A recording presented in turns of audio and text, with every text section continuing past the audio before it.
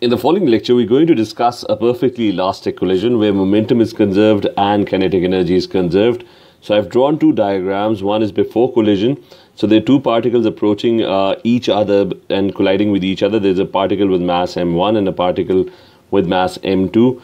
Uh, the initial speed is u1 for particle m1 and initial speed for particle m2 is u2 and they're approaching each other and they collide and after collision once that collision elastic collision happens uh, the particles go their separate way they go in opposite directions particle m2 traveling with a final velocity v2 and particle m1 traveling with a final velocity v1 so as we have previously discussed for an elastic collision uh, two things uh, that we are going to write down. One is that the initial momentum is going to be equal to the final momentum. Uh, that is true for any collision. And since it's an elastic collision, that means energy is conserved, um, which is that initial kinetic energy is going to be equal to final kinetic energy. So, law of conservation of momentum would apply, and law of conservation of energy would apply. Initial kinetic energy would be equal to the final kinetic energy. Now, in this lecture, based on these two uh, points that the momentum is conserved and kinetic energy is conserved, I'm going to try and derive this equation, which uh, basically means that u1 minus u2. u1 was the velocity, uh, initial velocity, initial velocity of uh, m1. u2 was the initial velocity of m2. So u1 minus u2 is the difference in the initial velocities. v1 minus v2 is the difference in the final velocities after collision. v1 is in this direction, v2 is in that direction. So the difference in the initial velocities and difference in the final velocity is going to be equal, except for a minus sign because the direction of the velocities would change after collision. Uh, this particle was heading in this direction. After collision, this particle is going in the opposite direction. So, so the basic idea is that the difference in initial velocity is going to be equal to the difference in the final velocity of the two objects, except for a minus sign because the direction would have changed. So this is uh, this is the equation that we plan to derive based on these two statements, law of conservation of momentum and law of conservation of energy. So we're going to try and derive this particular equation given over here. Now starting with the first statement that the momentum is conserved, uh, I'm going to calculate the initial momentum first. Initial momentum is going to be it's going to be m1 multiplied by u1 that would be the initial momentum for uh, this uh, object over here. So it's uh, m1 multiplied by u1 and then it, the other object has a momentum m2 u2 but the direction is in the opposite direction. So i'm taking the uh, the direction to the right as the positive direction. So this one is in the negative direction. So it's going to be it's going to be minus m2 u2 so that's your initial momentum. Just make sure that the direction to the right is the one that is being taken as the positive direction and the direction to the left uh, towards the left is taken as the negative direction and this would be true for the entire question entire derivation that we are trying to do over here. So m1 u1 and this would be minus m2 u2 because the direction is in the in the negative direction now initial momentum is equal to final momentum. So calculating the final momentum after collision, uh, this uh, object is going to have a final momentum of m1 v1, but it's going to be minus m1 v1 because it's going towards the left in the negative direction. So it's uh, going to be equal to uh, it's going to be equal to minus m1 v1 and the other object the second object has a momentum uh, m2 v2 and that's in the positive direction. It's going in the right uh, direction that in in the towards the right. So that's positive direction. So this one has a momentum of m2 v2 so that would be plus m2 v2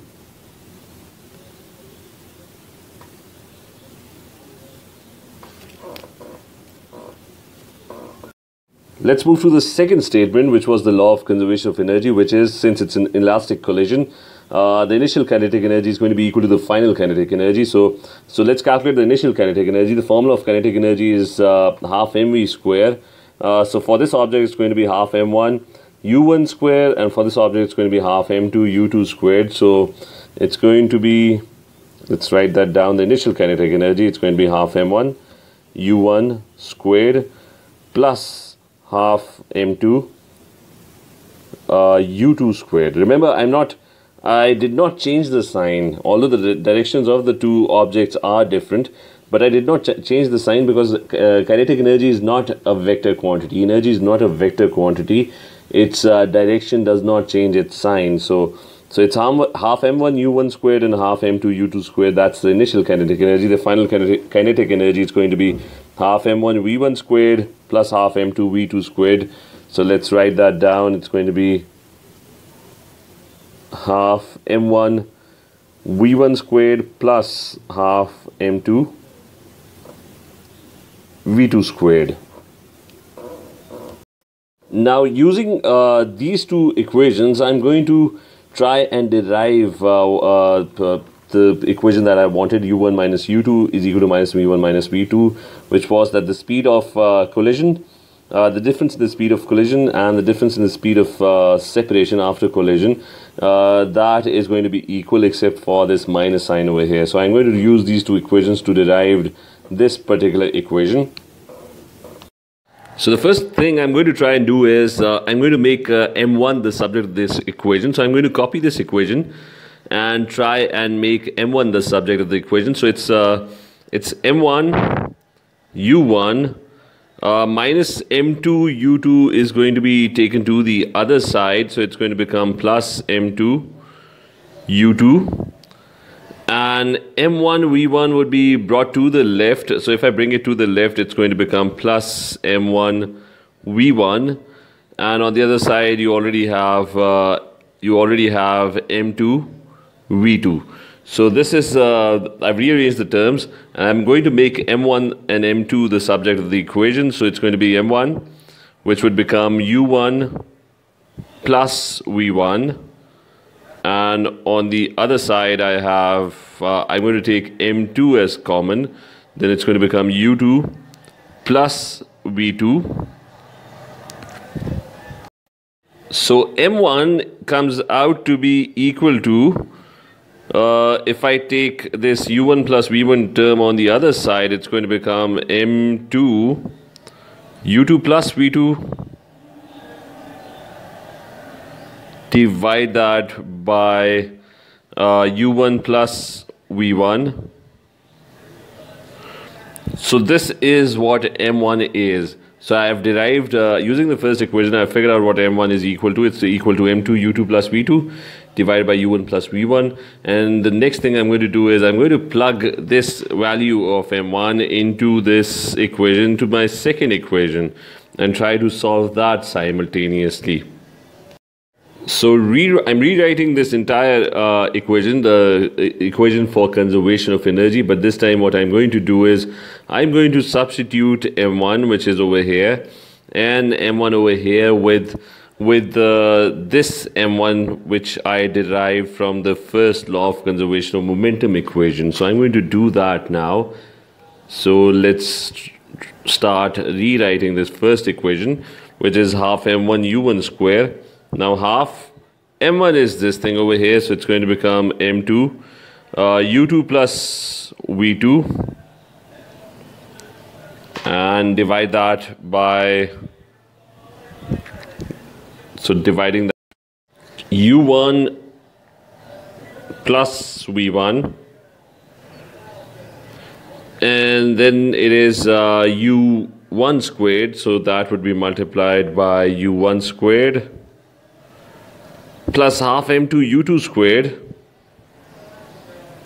So half m2 u2 squared. And on the right side, I have again half m1 v1 squared. So half m1 would be substituted by this m1 over here. So it's going to become m2 u2 plus v2